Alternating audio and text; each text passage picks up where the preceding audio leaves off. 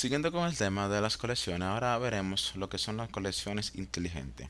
Estas nos permiten de una manera, de una manera digamos, automatizada eh, clasificar o separar nuestras fotografías en una colección existente. Veamos cómo funciona. Voy a crear, voy a asignar algunos atributos a estas fotografías. Por ejemplo, las fotos del reloj le voy a poner una, una etiqueta de color rojo y a la foto de este teléfono inteligente, Nokia Lumia 925, le voy a poner tres estrellas.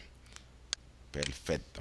Ya con eso es más que suficiente para yo crear mi colección inteligente. Veamos cómo funciona.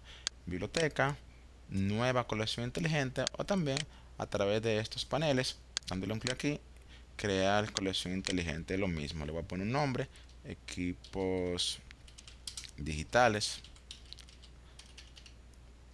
Perfecto.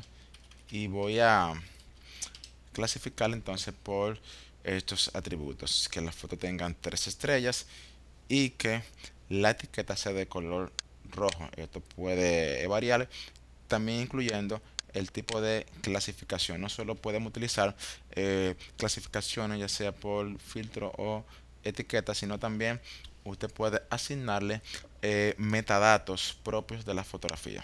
Le doy a crear y me parece que no hay fotografía, pero ¿por qué? Mm, misterio sin resolver. No.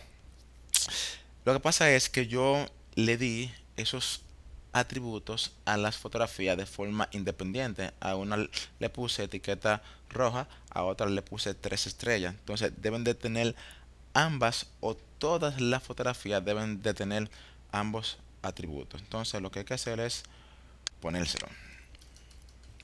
Fácil, vamos a darle abajo. Entonces a esta vamos a ponerle tres estrellas. Perfecto.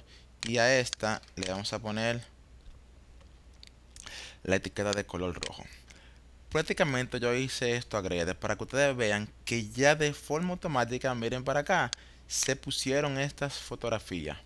¿Qué significa eso? Que cualquier fotografía en un futuro que usted quiera incluir acá, solo tiene que poner esos dos atributos. Etiqueta roja, tres estrellas.